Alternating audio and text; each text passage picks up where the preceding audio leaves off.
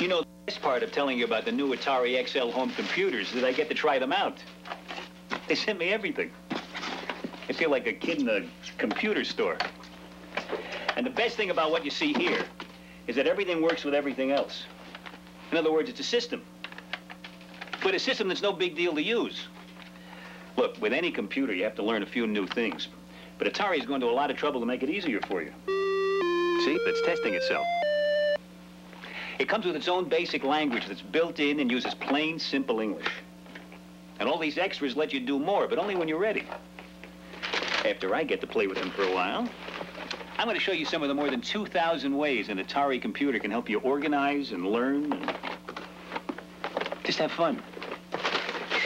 Oh, here's a box I didn't get to yet. Well, maybe next time.